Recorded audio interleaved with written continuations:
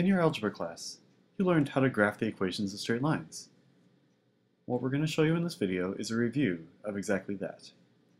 Now lines come in two standard forms. There is the slope-intercept form, where y is equal to mx plus b.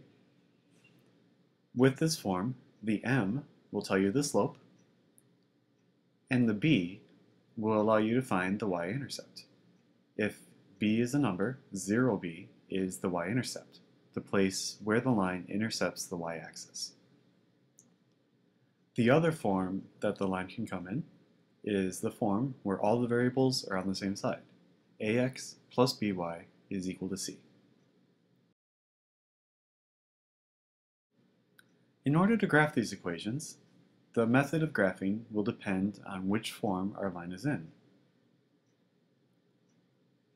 If the line starts off in slope-intercept form. Then we are going to graph the line using a starting place and a direction.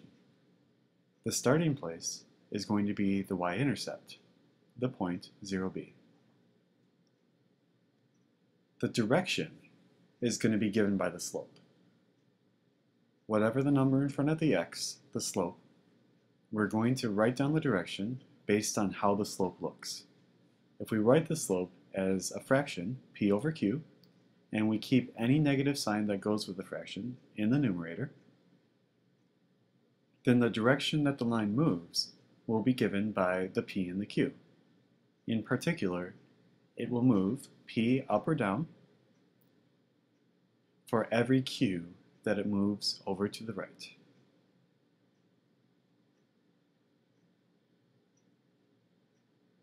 Let's take a look at an example of this type of line. So if we want to graph y is equal to negative 1 half x plus 3, then we can look at the equation, find the starting place.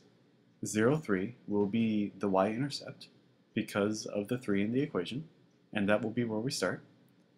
And then the direction will be given by the fraction of the slope. It'll be negative 1, or 1 down, for every 2 that it moves to the right. So we start with the point 0, 3, that's this point right here. And we find a second point by moving one down and two over to the right. Once we have our two points, the straight line will just be the line connecting them, connecting the two of them. And so draw a straight line, and this line exactly represents the equation y is equal to negative 1 half x plus 3.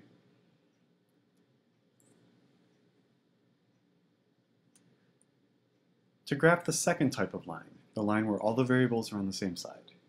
We are going to use two intercepts, the x and the y-intercept, in order to graph this. If you remember, to find the y-intercept, we take x equal to 0, because x is 0 on the y-axis, and we solve the resulting equation. When x is equal to 0, the equation we have is a times 0 plus b times y is equal to c, that's eliminating the first term in the equation. So solving what's left, we get y is equal to c over b.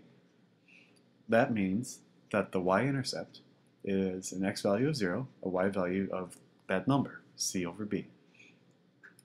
We can find the x-intercept in exactly the same way. Take y equal to 0 and solve the resulting equation.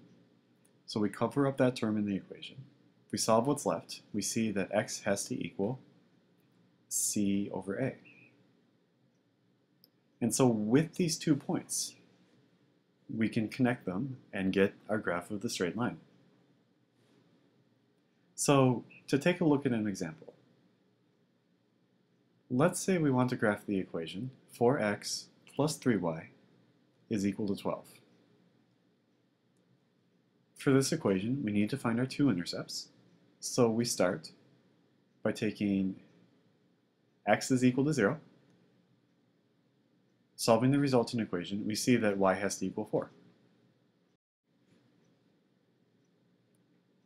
For the other intercept, when y is equal to 0, we solve the remaining, and we see that x has to equal 3. So we plot these two points. We have 0, 4 and 3, 0. Connect the two of these with a straight line, and we get the graph of our line.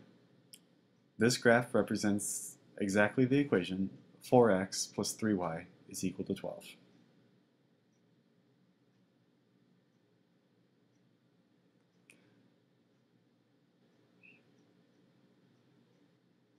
There are a few notes to go along with graphing of lines.